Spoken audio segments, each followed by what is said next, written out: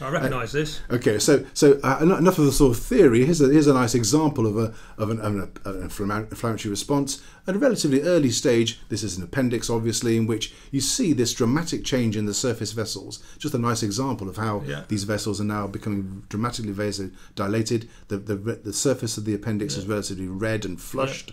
We're not yet seeing much of the migration of the polymorphs in that um, the, the the vessel changes obviously uh, usually uh, precede the, the, the, the cellular changes in that the vessels alter, alter and then allow the polymorphs to start migrating. So this is an early, if you like, congested appendix, but left a few more uh, few more hours or days, then certainly the, the surface of the appendix will then start to show the cell Starts- migration. It's looking a bit, a bit more dodgy up here, perhaps. Indeed, yeah. So I mean that, that's a that's a classic uh, appendicitis appendicitis. It's, Yeah, it's yeah. to feel it be quite stiff and Yeah, swollen indeed. and um, and much you know, not floppy and uh, and Yeah, soft like yeah. a like a normal Exactly. appendix. So it's showing the classical cardinal Yeah. signs of inflammation. Yeah. Um, here's another example. This is to, of a of a patient who I think had diabetes, if I if I recall. Mm. But what we have here is quite a nasty looking uh, red and swollen leg. Um, there's a there's a line been drawn on the leg for, for clinical purposes to sh- to give. Uh, It's obviously got a bit worse than when the line, isn't it? Yeah. Exactly, Uh, and and you can see that that's looking. There's also the tissues beginning to break down because Mm. often, even though this migration of fluid in cells is a good thing,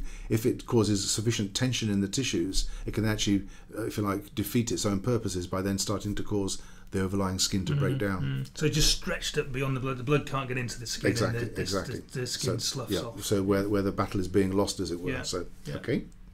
Um, so that's then the the, uh, the the first of these uh, elements. So the, the the vascular changes. Now let's think about the cellular alterations and, and, and migration of these cells. So the players in this sort of component, if you like, are the endothelial cells themselves, the neutrophils, the polymorph neutrophils, and then within the same family as neutrophils, we have macrophages. Neutrophils and macrophages both have this property of phagocytosis, that is, ingesting debris and, and and and material into lysosomes and then trying to neutralize that material. But the macrophage is the big brother, as it were. Yeah, as the name implies, macrophage, big eater, big eater. Big eater, quite so. One of those myself. okay. So here's then the, um, the the actual a schematic which shows the actual way in which the polymorphs migrate out of the vascular compartment into the tissues. So the the line across the center here is the, like the basement membrane, the, the, the the interface between the vessel compartment above and the tissue compartment below So here's a vessel up here. and that's the tissue, below. yeah. Okay, and what we have, you can see a neutrophil uh, being, if as it were, grabbed as it's as it's flowing past by this increase in adhesion, adhesion molecules that we talked about in, in on the endothelium, and the endothelial cells. Uh, towards the right hand side here formed a gap between them because they're contracting up and then by a, a process given the fancy word of diapedesis uh, the, the the polymorph literally squeezes its way uh, like a like an octopus out of a jar uh, into the tissues adjacent Okay, so diapedesis. Is there any particular reason for that? I have no idea where that word comes from, Right. but it's but it's a word that uh, I know trips off the tongue nicely. Yeah. So it's a nice word to know that that's what the, the process is called. Yeah. Okay. Okay. Great. So so it comes along, rolls along the edge, Yep. gets stuck, spreads out, and gets chucked out of the hole. Exactly, and this is happening. You know, as I say, cells by the by the hundreds of thousands Yeah. are, are Yeah. doing this. Uh, okay, so if we come back to our appendix, uh, we saw the top right photograph earlier on of this relatively early stage, and I've got a couple of other examples here of this process a bit further along, as it were, when this cell migration has now really begun to take hold. And what you're seeing now is that the surface of the appendix is looking different. It's now becoming a little duller, and it's got this so-called fibrinopurulent exudate. Yeah. There's stuff here. Exactly so. And the fibrinopurulent exudate is exactly that. It's a mixture of pus cells and fibrin. Yeah. The fibrin we described before, uh, and uh, acting as a meshwork for the polymorphs as they go out into the tissues. And now this is now an established uh, acute appendicitis with, say, a pus- Yeah. pustular change. Yeah, and so around that, if you look down the, I mean, this is it's a laparoscopic one by the looks of it, Mm. and if you look down to the laparoscope, you'll probably see some fluid around the appendix and the Yeah, cecum, perhaps yeah. dripping off down into the pelvis, and uh, you need to wash it out, so you might get a, uh, a pelvic abscess as a complication exactly. later. Yeah, I mean, okay. this one, this one on the bottom here, I'm not sure it's not far off perforation. If it hadn't Yeah. already perforated, it looks pretty, Yeah. pretty ropey towards the tip there. I think. Looks like it's been embalmed. This one. so it's, it's, it's, nice and recent anyway. Yes, that's right. Yes, it's, it's, very, it's very, very, very, very, current. Things haven't changed in all those years. No, can still get exactly the same way. Okay, and this for just in terms of uh, reinforcing what we've been saying at a microscopic level. Here's a, a, a high, relatively high power photomicrograph. What we're looking at here is these uh, these stranded pink mm-hmm. areas are the muscle fibers of the mm-hmm. appendix wall. Mm-hmm. Okay, they're, well, they're what's left, if you like, of the appendix wall, muscularis propria, and in between them, I hope you can make out our polymorph neutrophils These in, here, in, yeah. in, in abundance. Yeah, and so and we've lots got and lots and lots of these uh, cells with lobated uh, polymorph nuclei, and these are the So these cells. these these are the muscle nuclei. These Exactly, long, these yeah, long ones. So yeah. If you weren't inflamed, you wouldn't see all these little purple dots. they, they wouldn't they wouldn't be there long- at all. You just have fellas, yeah. exactly. You just have the nice. They'd be all nicely packed up together, and and not a not a, And not these are just some red blood cells in a. There've been no cells in between them. Yeah. Um, and also notice that these polymorphs are not sitting within blood vessels. Hmm. These polymorphs have now left the vascular compartment. They're sitting within the tissues. They have been diapedied. In diseased, yes. Yes, whatever, Diapedized. whatever, exactly. okay, and again, just another uh, similar sort of photograph towards the right-hand side here. We've got some relatively normal Yeah. uh, muscle fibers, you know, just uh, side by side. And you can see the big difference Yeah. there. Yeah. and and as this process you know uh, takes hold and progresses, you can see that you know, the body's desperately trying to to prevent the infection, usually here from from bacteria within the appendix lumen.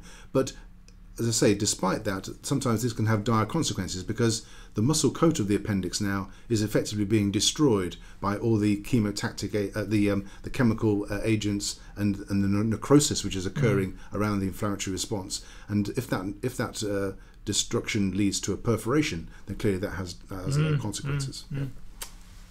Um, and here is a, an example just of, of exactly that, which is an appendix which has been cut longitudinally Mm-hmm. Yeah. towards the tip. So you can see s- the- you the can lumen see, here. You can see the lumen, and it's a complete destruction here of Yeah. the of the lining by this this yellow soft material, which is pus. Yeah. And uh, I I think, although it's not as well shown as I'd like, but nonetheless, there's a probable perforation towards the tip there. This here. Yeah. Yeah. Yeah. Okay. Yeah. And Okay. you can see it's fibropurulent exudate again. again Exactly. So it's really quite a this. quite an advanced uh, uh, appendicitis. And of course, what, what this does is when it gets inflamed, that in, inside the abdomen, uh, it gets walled off by other abdominal structures. So the omentum comes down and tries to wall it off, Indeed. and uh, small bowel and whatever. So, Yeah. so the, the, the localizations on a, a microscopic level, but also in the body where where allowed on a macroscopic level as That's well, right. certainly within the abdomen. Yeah. And, and this is the thing that some patients with appendicitis, the thing does get localized, and patients can heal uh, an episode of appendicitis and end up with just a fibrotic appendix. right. But others, of course, unfortunately, get to this Yeah. stage and get risks of, uh, of advanced infection. Uh, and yeah, here again, very dramatically shown is an appendix now, which we've in the, in the bottom left Mm-hmm. here cut transversely, and you can see that the wall now of the appendix has ruptured. And uh, So, so that's not you with a pair of scissors. That's no, it came. no, that yeah. was that was that was the way it came. Yeah. And and here again, you can see the lumen of the appendix in the top right, completely filled with a sea of polymorph Mm-hmm. Neutrophils, yeah. which are now rupturing through the, the lining of the of the This, appendix. this is the and there are a few residual appendix glands. These are the lining of the appendix Yeah. glands, and you can see they've been destroyed and have made way for the, So the polymorphs which are that's pouring also- which are just- pouring just through. going through the whole. Yeah, Right. yeah. God, So it's quite, quite- dramatic, isn't quite it? dramatic. Yeah. Okay, so that's the, the the sort of cell migration side of things, and then finally, as I say, with the repeating my disclaimer of not being a biochemist, but just a quick uh, foray into the complex, very complex world of the chemical mediators around in the inflammatory response. And you can broadly group these into those which are something to do with the changes in the vessels, so vasoactive mediators, and something which are those which are something to do with the change, the, the movement of the cells, the, the chemotactic factors. Okay, um, so a lot of terminology around this. Uh, it's maybe useful just to be familiar with some of these terms, uh, and obviously, if the listener would like to do some more reading, th- th- then please please feel free to do so. There, there are some of these uh, factors are uh, derived from cells, which are migrating into the tissues anyway. Some of these factors are stored within the cells, ready to be released at a moment's notice. Yep. And for example, histamine is a good example of that.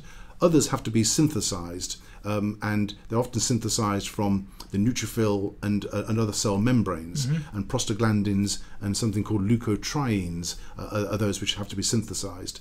Uh, and others within this group are things like platelet activating factor and other cytokines and chemokines. So, as I say, don't get too bogged down with the terminology, but just to be aware that in terms of these factors, some are there ready and waiting, others have to be produced and, man- Mhm. and manufactured as the response. So how, how long does it take to produce these things?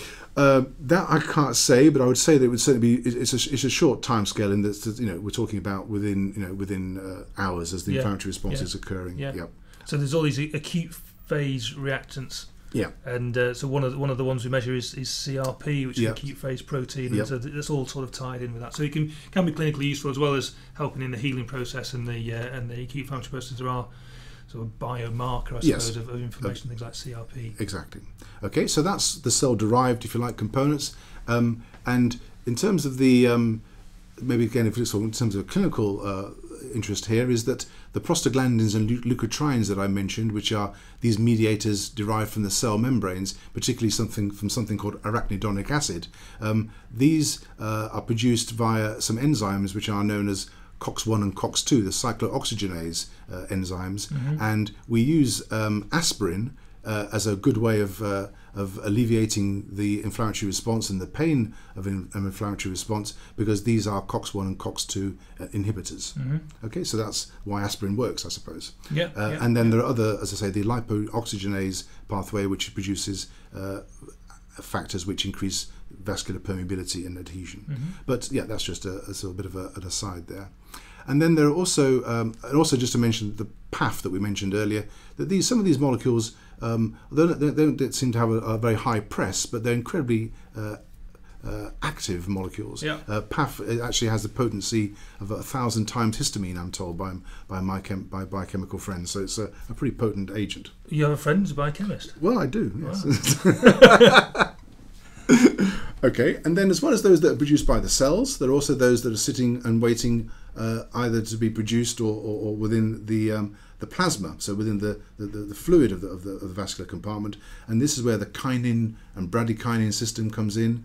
Uh, Again, we'll quickly rattle through these so you don't ask me any difficult questions. The clotting pathway in terms of activation of the Hageman factor, thrombolytic system, and complement that we mentioned before, Yeah. uh, which again has a whole sort of sub sub array of, of different uh, uh, of agents. Um, and if we then try to just draw this together in terms of what we saw right at the beginning, the, the things which occur in the inflammatory response, put it into a clinical context, we can see that there's quite often a bit of overlap in that these various agents often uh, are contributing to more than one of the inflammatory uh, com- inflammatory uh, changes that we see. Okay. So, for example, um, uh, let's have a look. Maybe have something like prostaglandins, which not only have a role in terms of the pain that we see, Yeah. the inflammatory response, but also have a role in producing the vasodilatation. Yeah. Okay, so that's just a little breakdown okay. of, So of some of these yeah, agents. So it's all all things. What what's pain for? Why why does it hurt? I, th- I think it's probably in order to. Uh, well, I th- yeah, it's interesting. I, th- I think you can think of it in terms of maybe reducing the the, the movement in the area, uh, pre- preventing use of that area in order to, to allow the body to to you know, to to, uh, to heal the yeah, area. and to localize it. a bit Yeah, maybe. yeah. I mean, uh, again, coming back to our thumb, if your your thumb's hurting, you're not going to use it. You're not going to incur any further damage. Mm. So you can allow the body to rest that area and therefore hopefully heal it. Yeah, so it's probably useful, I suppose. Yeah, Yeah. Okay. Right, that's just a nice autumn picture to tell me to relax because the rest of it's now just lots of clinical photographs. Oh, okay. But we've also, I think, then dealt with, if you like, the the main issues around the inflammatory response. Just to remind ourselves, then we're talking about a stereotypic response within vascularized living tissues, which is characterized by alterations in vessels and migrations of cells on a background of a very complex biochemical orchestration. Uh, is, it, is that the lovely campus at the University of Nottingham? I have no idea, Oh, but it's one of my favourite autumn photos. it probably is the lovely campus at the University of Nottingham, where the universities are available.